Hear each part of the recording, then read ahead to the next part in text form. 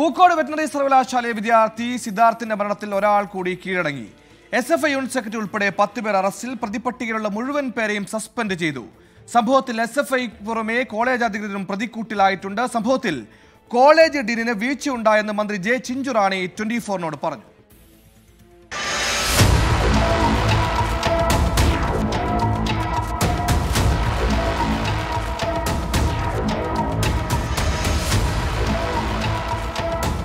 Pookode veterinary college വിദ്യാർത്ഥി സിദ്ധാർത്ഥിന്റെ മരണത്തിൽ രാഷ്ട്രീയ ആരോപണങ്ങൾ ശക്തിപ്പെടുന്നതിനിടെയാണ് കൂടുതൽ എസ് എഫ് ഐ നേതാക്കളുടെ അറസ്റ്റ്.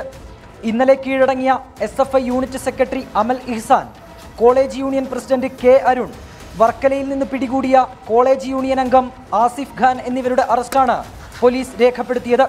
ഇവർ പോലീസിന്റെ ആദ്യ പ്രതിപ്പട്ടികയിലുള്ളവരാണ്. കൂടുതൽ പേരിലേക്ക് അന്വേഷണം എത്തുമെന്നാണ് സൂചന. പ്രതിപ്പട്ടികയിലുള്ള മുഴുവൻ പേരെയും കോളേജ് സസ്പെൻഡ് ചെയ്തു.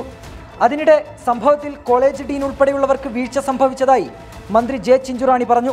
മരണം കുടുംബത്തെ അറിയിക്കുന്നതിൽ ഡീനിന് വീഴ്ചയുണ്ടായെന്നും അന്വേഷണം നടത്തുമെന്നും മന്ത്രി ട്വന്റി ഫോറിനോട്.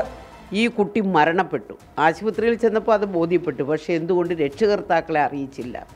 അത് ഒരു തെറ്റാണ്. അത് ആരാണെന്നുണ്ടെങ്കിലും അത് തെറ്റാണ്. അത് യൂണിവേഴ്സിറ്റി വൈസ് ചാൻസലർ ആണെന്നുണ്ടെങ്കിലും രജിസ്ട്രാർ ആണെന്നുണ്ടെങ്കിലും അത് നമ്മുടെ ഇപ്പോഴുള്ള ഈ നാരായണൻ ഡീൻ ആണെന്നുണ്ടെങ്കിലും അവ ഒരു മരണം വന്ന പെട്ടെന്ന് രക്ഷകർത്താക്കളെ അറിയിക്കേണ്ടെന്ന ചുമതല അവർക്കുണ്ട് യൂണിവേഴ്സിറ്റിക്കുണ്ട്.